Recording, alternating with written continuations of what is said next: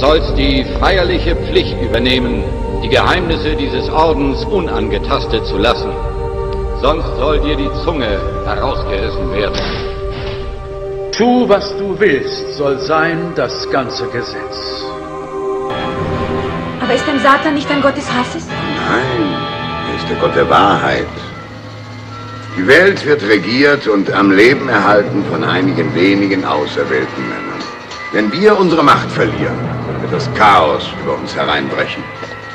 Manchmal muss diese Macht dazu benutzt werden, hart zu sein und zu belehren.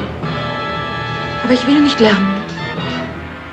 Also jetzt wollen wir mal sehen, wie diese Kriege geplant wurden und äh, was vorhergesagt wurde. Im Januar 22, 1870 ist da ein Brief, der Mazzini schrieb an Albert Pike. Das ist der General, der auch die schottische Rite äh, leitete. Und er sagte, wir müssen einen Superritus herbeibringen, wo die Freimaurer des Hohen, der hohen Grade, also von 30 hoch, die die eingeweihte Luziferier sind, die im strengsten geheim werden und wir werden das ganze Freimaurertum beherrschen und wir werden einen internationalen Zentrum haben und wir werden so mächtig sein, weil keiner weiß, in welche Richtung wir uns bewegen. Es ist ein totales Geheimnis.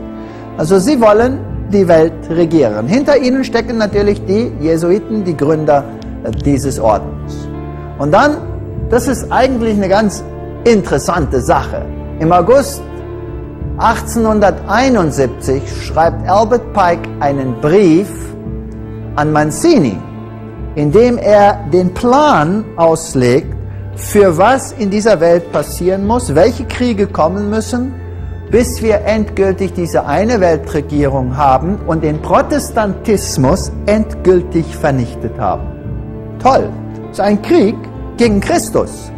Kriege auf dieser Welt sind Kriege gegen Christus und gegen Christi Folger.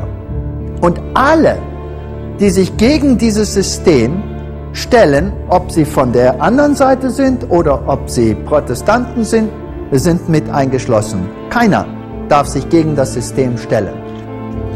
Er sagt unter anderem, der Erste Weltkrieg, der wurde geplant, das war schon in 1871, da gab es keinen Weltkrieg. Der Erste Weltkrieg ist da, wird geplant, um die Macht des Zars von Russland, der die orthodoxe Kirche behütete, äh, umzu, umzuschmeißen, um ein atheistisches, atheistischen, kommunistischen Staat zu gründen. Das ist ja interessant. 1871. Genauso ist es passiert im Ersten Weltkrieg. 1917, danach kam die bolschewistische Revolution und der Kommunismus und der Atheismus kam ans Ruder. Dann soll ein zweiter Weltkrieg kommen. Und der soll entstehen zwischen England und Deutschland. Ist das nicht interessant? Woher geplant? Der Grund, warum er geplant werden muss, ist, um den Kommunismus als Antithese zu, dem judeo zu der judeo-christlichen Kultur darzustellen. Also das ist hegelisches Denken. Wir brauchen eine Antithese und wir brauchen eine These. Und dann einen zionistischen Staat in Israel zu gründen. Was ist passiert nach dem Zweiten Weltkrieg? Genau das ist passiert. Und dann einen dritten Weltkrieg. Den haben wir ja noch nicht, aber es sieht ja interessant aus, was in der Welt passiert. Der soll im Mittelosten passieren und es soll ein Krieg sein zwischen dem Judentum und dem Islam der sich in der ganzen Welt verbreitet. Ist das nicht interessant? 1871.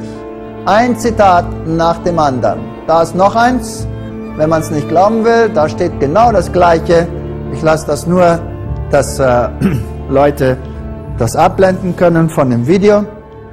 Und dieser Krieg zwischen den Moslems und den Juden, der soll endgültig dieses Armageddon hereinführen.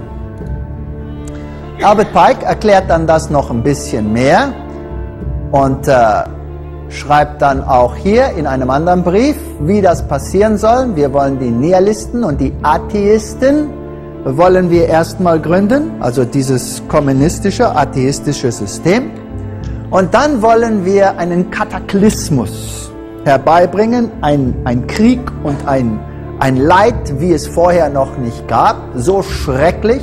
Der Erste und der Zweite Weltkrieg, der, der war ja genau so. Und äh, am Endeffekt wollen wir den Menschen zeigen, was absoluter Atheismus eigentlich erreichen kann. Ein blutiges Blutbad soll es geben. Und am Ende soll dieser Atheismus und das Christentum gleichzeitig besiegt werden und die reine Doktrine Luzifers mit der Vernichtung des Christentums und des Atheismus gleichzeitig soll herbeigebracht werden. Ist das nicht interessant? Also das schreibt er in 1871. Also diese Mächte sollen sich bekämpfen. Jetzt die Antithese war der Kommunismus mit dem Atheismus und die These war dann das sogenannte Christentum, geführt von Inneren, das auch als Bösewicht endgültig dastehen muss, damit beide das Christentum und der Atheismus eine Blamage sind. Jetzt haben wir eine These und eine Antithese als Blamage und aus diesem System kommt eine Synthese, wo das Christentum lächerlich ist, der Kommunismus lächerlich ist und das neue System nach Regierung wird ein Faschismus sein, aber ohne wahres Christentum. Und zwar, weil das haben sie so schön verbunden mit diesem System.